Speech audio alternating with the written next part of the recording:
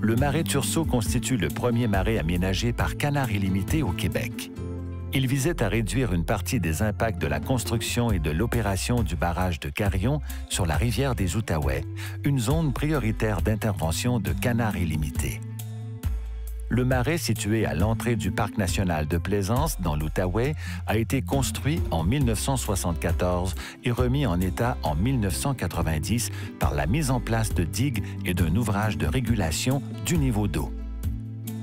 Le marais Tursault présente un agencement idéal d'eau libre et de plantes aquatiques émergentes, ce qui fournit un habitat riche en diversité et en espèces. Un belvédère d'observation et une piste cyclable ont d'ailleurs été aménagés sur la digue par la CEPAC pour permettre à la population de profiter de ce site magnifique et d'observer les nombreuses espèces qui le fréquentent. Canard Illimité assure maintenant la gestion annuelle de ce site afin de maintenir la productivité et la composition végétale optimale des marais.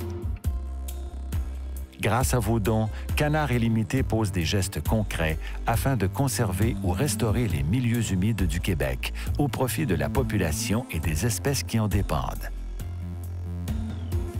Agissez vous aussi pour la nature et soutenez la mission de Canard Illimité au Québec.